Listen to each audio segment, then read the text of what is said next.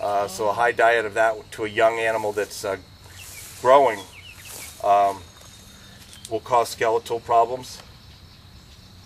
And is that what happened with her? Or? She, uh, we got her when she still had spots, but our, our our first male, our big male, his skeleton was all bowed. So yeah. So she's calming down a little bit. She's not been real happy to be here. But the horses are usually standing all around her, which, you know, I call dinner and a show because Yeah. because cougars like That's horses. Sure. I see the horses are over here.